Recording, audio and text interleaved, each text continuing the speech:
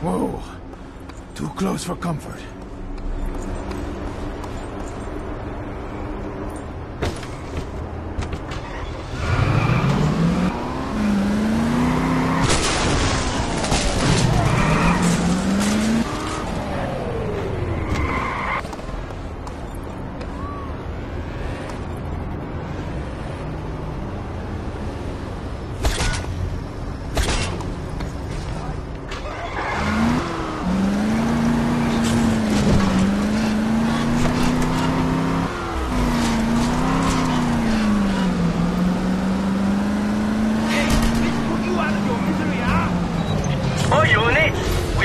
it's a five.